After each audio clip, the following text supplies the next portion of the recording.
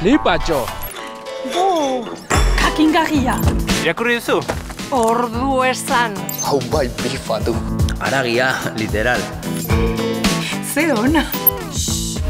Irizpidea duzulako, giroan zabiltzalako, berria, zuk badakizulako.